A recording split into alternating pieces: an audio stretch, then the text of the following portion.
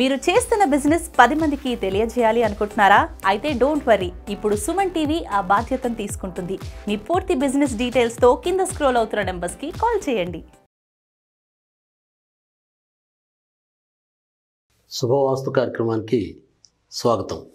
వాస్తుశాస్త్రంలో ఎన్నో ముఖ్యమైన అంశాల్లో బరువులు తేలికపాటి వస్తువులు ఎత్తైన ప్రదేశాలు పల్లం ఉండే ప్రదేశాలు ఎత్తు పల్లాలు ఏ పక్కన ఎత్తుగా ఉండాలి ఏ పక్కన పల్లంగా ఉండాలి. ఆ ఎత్తు బల్లాలు ఆ స్థలాల మీద ఎటువంటి ప్రభావం చూపిస్తాయి. ఇవన్నీ కూడా ఈ వాస్తుశాస్త్రంలో కూడా ఒక ముఖ్యమైన అంశం అని చెప్పచ్చు.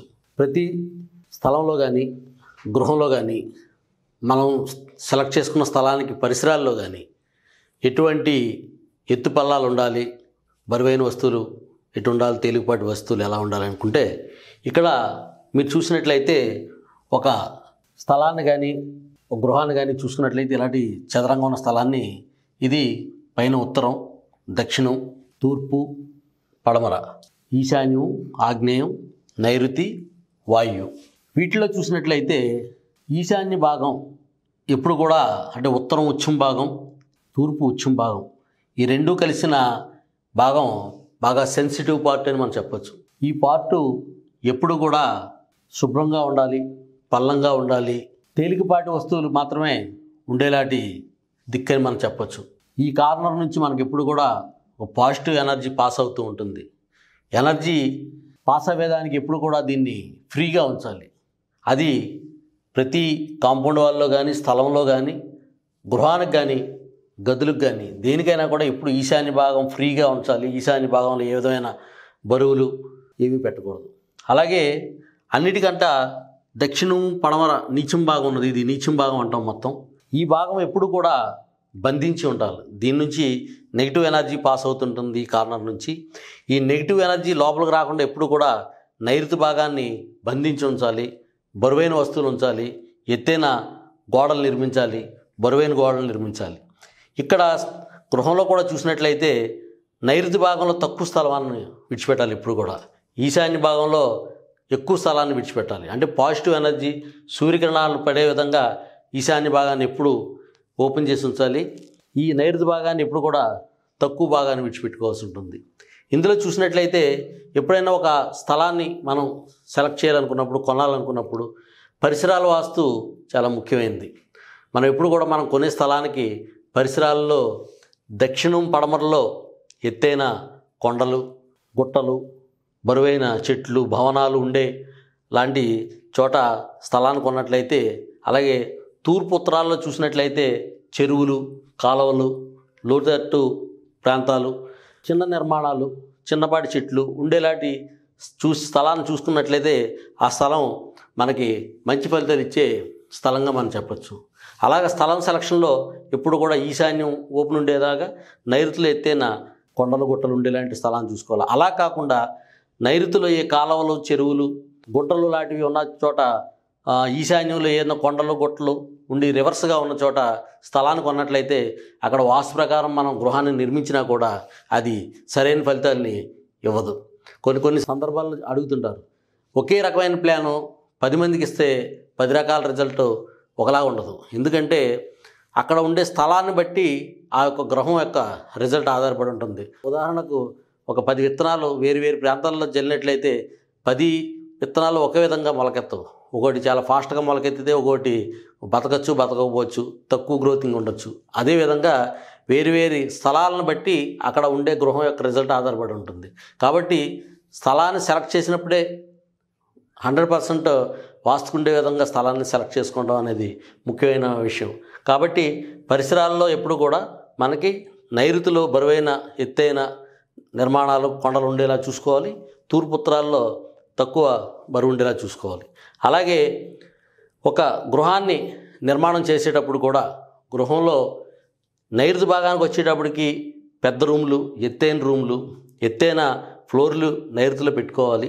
ఈశాన్యం ఉండేటప్పటికి తక్కువ height flooring level slab level తక్కువ హైట్ ఫ్లోరింగ్తో హైట్తో బిల్డింగ్ని నిర్మాణం చేసుకుంటూ తూర్పుత్రాల్లో ఖాళీ ఎక్కువగా పెట్టుకుని గృహ నిర్మాణం చేసుకున్నట్లయితే అది ఆ గృహం మంచి రిజల్ట్ ఇస్తుంది. అందుకని చాలా చోట్ల చూసినట్లయితే నిర్మాణం అంతా అయిన తర్వాత ఈ నైరుతిలో ఓవర్ హెడ్ ట్యాంకు ఈశాన్యం వచ్చేటప్పటికి అండర్ గ్రౌండ్ వాటర్ ట్యాంకు ఇవన్నీ కూడా మనం పెట్టుకుంటూ ఉంటాం ఎప్పుడు కూడాను ఒక గృహాన్ని తీసుకున్నట్లయితే మనం గృహంలో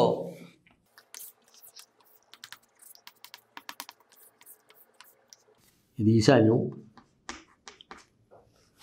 ఇలా గృహాన్ని తీసుకున్నట్లయితే ఇది కాంపౌండ్ వాళ్ళు కాంపౌండ్ వాల్ ఇలా తీసుకుని ఇది ఇలా గృహం తీసుకున్నట్లయితే ఈ గృహంలో ఎప్పుడు కూడా తూర్పు ఉత్తర ఈశాన్యాల్లో అండర్ గ్రౌండ్ వాటర్ ట్యాంక్స్ నూతులు బోర్లు వంటివి ఇవన్నీ కూడా ఈశాన్యంలో గోతులు ఉండే విధంగా చూసుకోవాల్సి ఉంటుంది.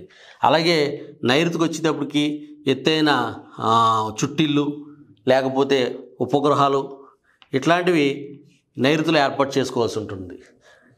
ఇంకా దక్షిణ పడమర కన్నా తూర్పు ఎక్కువ దక్షిణం కంటే ఉత్తరం ఎక్కువ ఉండే విధంగా ఎప్పుడు జాగ్రత్త పడుతూ ఉండాలి.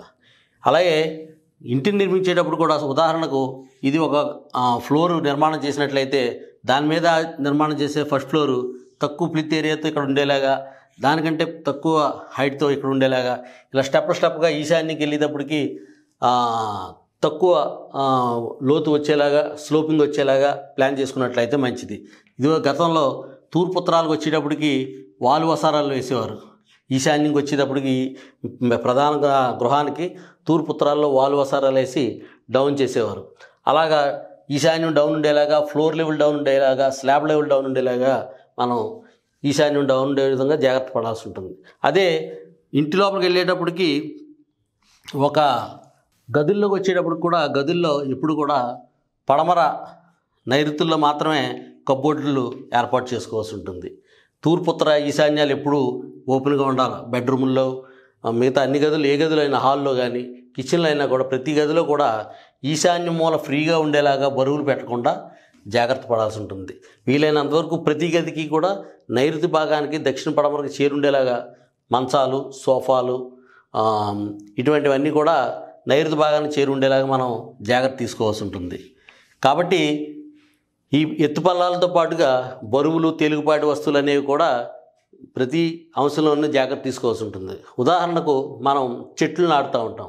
చెట్లు వేసేటప్పుడు కూడా ఎప్పుడూనూ మీరు చూసినట్లయితే ఇది నైరుతి భాగంలో అతి బలమైన చెట్లను వేయచ్చు. అసలు గాలి కూడా రానంత ఎత్తైన చెట్లను ఇక్కడ నుంచి దక్షిణం మధ్య నుంచి పడమర నీచం భాగం అంతా కూడా బలమైన చెట్లు వేయడం వల్ల గృహానికి మంచి రిజల్ట్ వస్తాయి.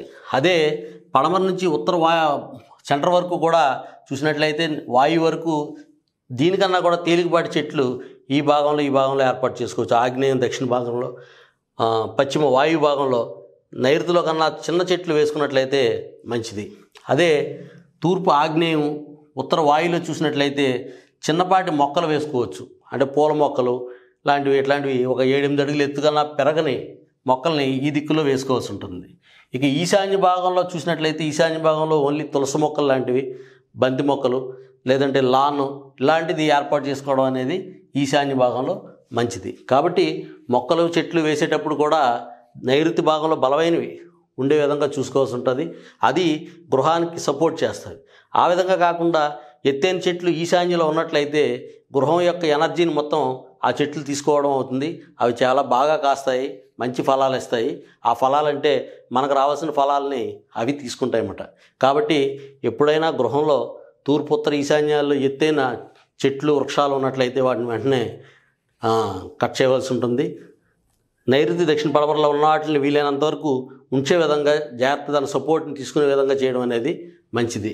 కాబట్టి ప్రతి గృహంలో కూడా ఈ బరువైన తేలికైన వస్తువులు ఎక్కడ పెట్టాలి? మనకి ఎత్తుపల్లాలు ఎటు ఉండాలి ప్రతిరోజు కూడా అది పాటిస్తూ ఉండాలి. ఇంట్లో కూడా ఒకసారి తెలియకుండా ఈశాన్య మూలకు తెలియకుండా చెత్త చేరిపోతూ ఉంటుంది. బరువు చేరిపోతుంది. అది తీయడం అనేది జరగదు. అలాగా ఉండడం వల్ల ఆ ఇంట్లో దరిద్రం తాండవిస్తుంటుంది. కాబట్టి ప్రతిరోజు ఉదయం లేచిన వెంటనే బరువులు మంచాలు కుర్చీలు ఏ దిక్కులో ఉన్నాయో అవి ఎప్పటికప్పుడు చదువుకుని కరెక్ట్ చేసుకున్నట్లయితే ఆ ఇంట్లో వాళ్ళు సుఖ సంతోషాలు అనిపించే అవకాశం ఉంది. మరొక కార్యక్రమంలో మరొకసారి కలుసుకుందాం.